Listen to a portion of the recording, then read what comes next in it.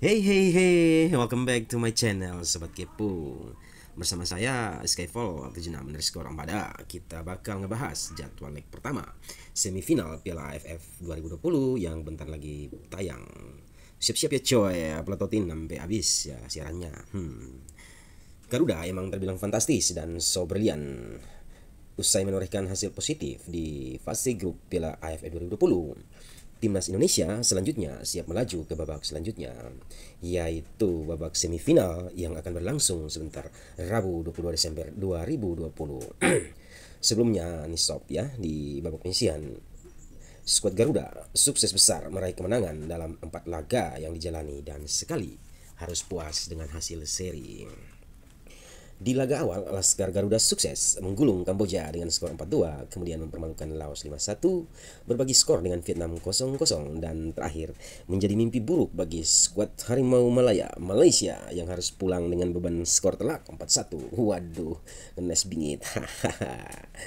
dengan hasil tersebut, skuad Merah Putih pun berdiri perkasa menjadi pemuncak grup B dengan torehan 10 poin yang disusul Vietnam sebagai runner up dengan poin yang sama dan sekaligus memastikan langkah kedua tim untuk melaju ke babak semifinal.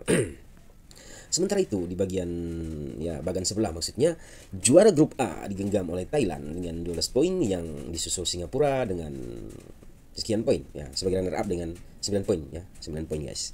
Di babak semifinal nanti juara grup A Thailand dipastikan bakal berhadapan head to head dengan Vietnam sedangkan juara grup B Indonesia akan menantang tuan rumah Singapura berduel di lapangan hijau. Ya, moga-moga nggak ada faktor-faktor non teknis nih yang berpengaruh ya agan-agan semuanya. Mengingat catatan sejarah kelam yang terus aja menghantui perhelatan akbar Asia Tenggara ini akibat faktor tuan rumah yang kadang berulah demi memuluskan niat bulusnya. Hmm, Tapi gini deh cuy, mari tetap optimis bahwa kita akan menang sekalipun di kandang singa, right? Yes! Jadwal babak semifinal Piala AFF 2020 sendiri akan dibuka dengan mempertemukan timnas Indonesia kontra timnas Singapura pada hari Rabu hari ini, hari ya hari ini ya, tanggal 22 Desember 2021. Untuk leg pertama laga ini akan disiarkan secara langsung oleh RCTI lebih cepat ya, yakni mulai pukul 18.30 waktu Indonesia Barat.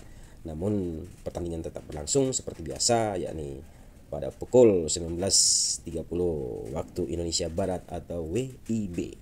Sementara laga kedua akan berlangsung tiga hari setelah laga leg pertama yakni pada tanggal 25 Desember. Nih so 25 Desember 2021 wah pas Natalan ini ya yang juga disiarkan live oleh RCTI di waktu yang sama persis selain dapat dilihat di layar televisi.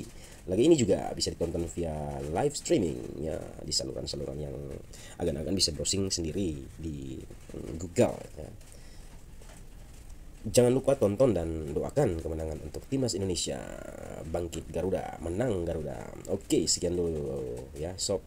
Kita bakal ketemu lagi di topik dan cerita berbeda. So jangan lupa tonton terus comment, like, and subscribe my channel. Sekian dan terima kasih. Ciao.